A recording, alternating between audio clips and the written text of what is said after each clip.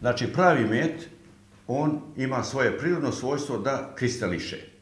I nemoj niko da se plaši i uvijek tražite od pčelara ili u trgovini samo kristalisani med. Jer njegovo je svojstvo da u roku godinu dana kristališe. Međutim, ovaj, to je livatski med. A ovdje imamo bagremov med koji nije kristalisao. To je znači taze med i još njegovo bagremog meda je da dve godine treba da kristališe.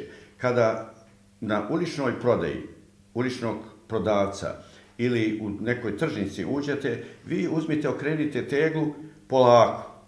Evo, gledate ovaj mehur vazduha. On gore dobija kruškonik oblik. Znači, on se otvara većom površinom kao oblike kruške. To je vrlo važno. Evo je, kao kruška, jel vidite?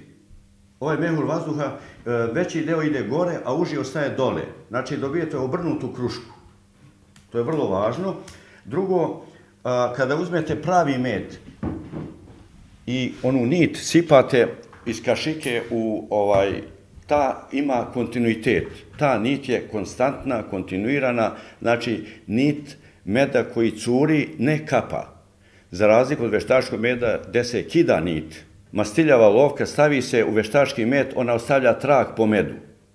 A pravi med nikakav trak ne ostavlja.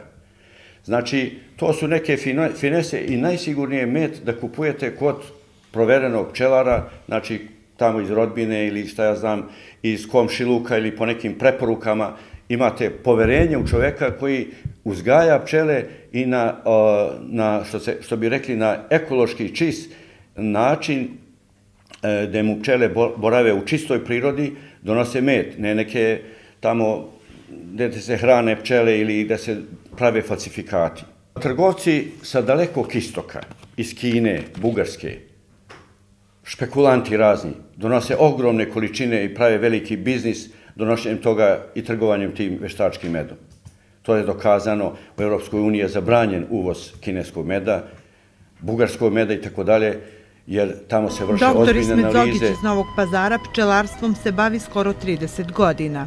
Iako je medicina njegovo osnovno zanimanje, tri decenije pčelarskog iskustva svrstavaju u profesionalne i priznate pčelare, a za svoj rad više puta je nagrađivan.